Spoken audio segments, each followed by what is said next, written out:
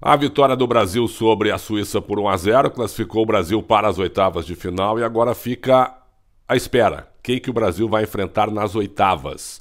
Do outro lado, Portugal será primeiro do grupo. E aí Uruguai e Gana, Uruguai só depende de si para ganhar de Gana.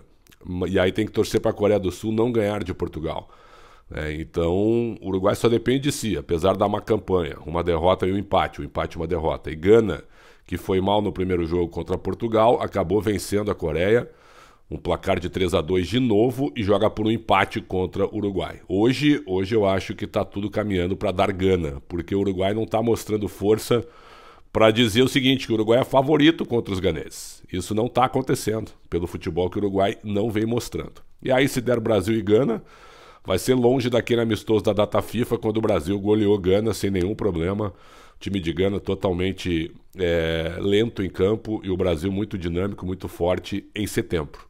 Agora a Copa do Mundo é outra situação, é outra coisa, mas ainda assim o Brasil é bem superior aos africanos. Gana contra Portugal tomou 1 a 0, empatou o jogo e aí tomou dois gols rapidamente, ficou 3 a 1 a partida e aí depois terminou 3 a 2. Só que o time de Gana, ele não é ruim do meio para frente, ele tem qualidade, mas na parte defensiva ele dá muito espaço. E aí não vai aguentar realmente o jogo coletivo brasileiro. Então, Brasil e Gana com uma grande possibilidade, Brasil muito favorito.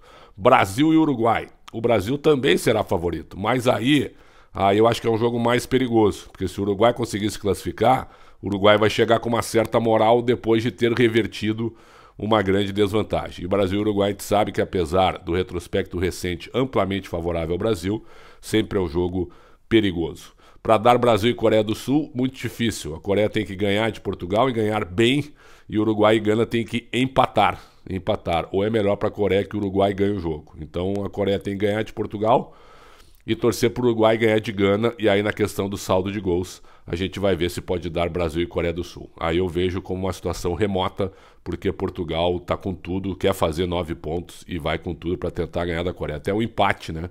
Deixa a Coreia é, eliminada. Então, situação muito difícil para os sul-coreanos. Então, tudo caminha para Brasil e Gana. Brasil amplamente favorito. Se enfrentaram em 2006, quando o time de Gana era muito melhor e o do Brasil tinha aquele timaço dos quatro ex. O jogo foi 3 a 0 naquela época, mas o placar não, não foi a verdade do jogo. Ponto. Agora, se der Brasil e Gana, o Brasil é muito favorito. E se der Brasil e Uruguai, Brasil também favorito, mas o Uruguai é um time muito mais acostumado a enfrentar os brasileiros e eu imagino que a dificuldade seria um pouco maior. Vamos aguardar. A única certeza é que o Brasil fez um jogo nota 5,5 contra a Suíça, mas ganhou o jogo. E Copa do Mundo, nesse momento, o que vale é ganhar e não dar espetáculo.